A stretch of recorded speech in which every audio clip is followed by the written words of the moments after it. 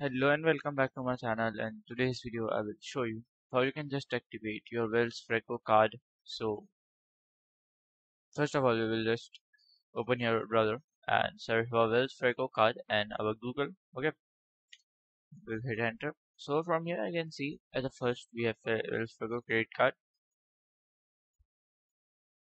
So we can just open uh, this credit card company. So just go to wellsfargo.com website so we can just wait.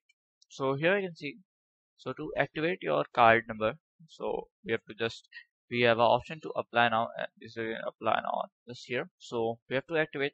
So we'll simply uh, click on here as our as here we'll search for the Wells Fargo card activate. Okay so it will like show the relevant side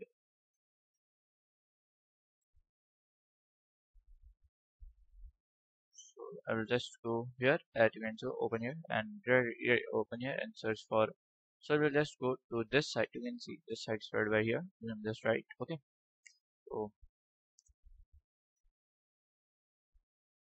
so from here I can see here I've just put my username and password and I will just sign on and the there is option showing to activate your credit card and from there from there I can just activate my card okay so if you find this video helpful, make sure you like, subscribe and share the video. Thank you for watching. Bye.